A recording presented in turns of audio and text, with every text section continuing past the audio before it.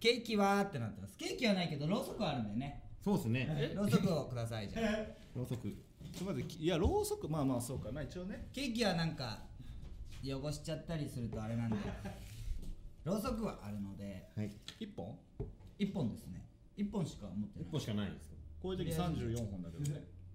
34本もあったらだって見づらいでし。ょ えなんか全然雰囲気出てないけど あるだって。でもああいいですね消してもらって、消えるんですかこれ。ええ。雰囲気出ますね。えちょっとまああいい一応。ですね DS!DS! じゃあこれせっかくなんで持って。うんはい。はい。え自分で持つの？はい。はい。ハハッピーバースデー歌ってみんなで消しまあロシアさん消してもらいましょうかね。はい。うん。これ。かせっかくだからこのろうそくどうします？皆さん。え？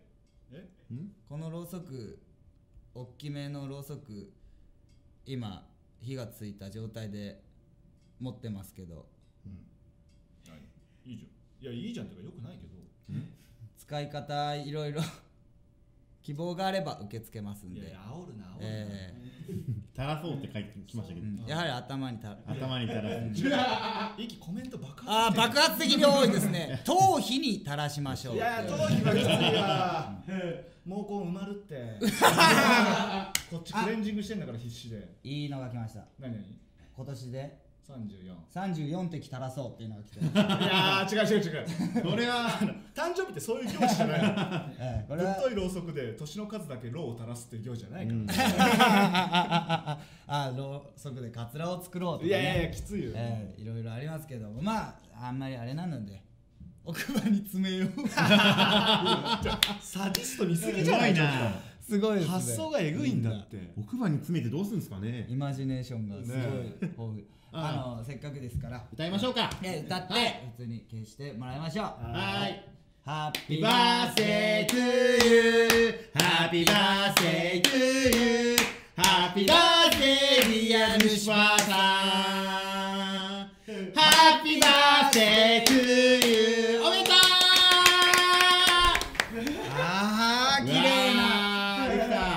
麗な絵でしたね。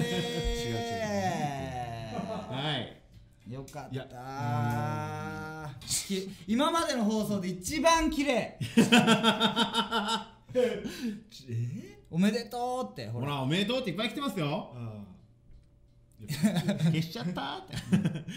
でもいいいいと思います。やっぱり愛言っても愛に溢れた放送を目指してますから。ー、いやいやじゃあじゃあよかったよ、うん。なんかうんまあまあ。どうなんか一応抱負だけ聞きましょうかね。30どんな34 4歳から35までの1年間。どうしますか？1年間、うん。